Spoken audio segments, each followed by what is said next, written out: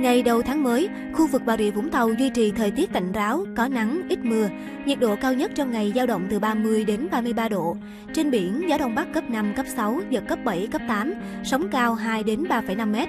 Trong cơn dông có khả năng xảy ra lốc xoáy và gió giật mạnh, nên người dân cần lưu ý. Diễn biến thời tiết cụ thể ở từng khu vực trên địa bàn tỉnh trong ngày hôm nay, 1 tháng 12 năm 2023 như sau. Khu vực phía Bắc của tỉnh ban ngày trời nắng, nhiệt độ 31 đến 33 độ, độ ẩm 74 đến 79%. Khu vực ven biển Bà Rịa Vũng Tàu, ngày nắng, mức nhiệt từ 31 đến 33 độ, gió đông bắc cấp 2, cấp 3, độ ẩm 75 đến 80%. Huyện Côn Đảo, trời nhiều mây, có mưa rào và dông vài nơi, ngày nắng gián đoạn, nhiệt độ 29 đến 31 độ, gió đông bắc cấp 3, cấp 4, độ ẩm 78 đến 83%. Hải Văn, vùng biển Bà Rịa Vũng Tàu có mưa và dông. Trong cơn dông có khả năng xảy ra lốc xoáy và gió giật mạnh. Tầm nhìn xa từ 4 đến 10 km. Gió theo hướng đông bắc cấp 5, cấp 6, giật cấp 7, cấp 8, biển động.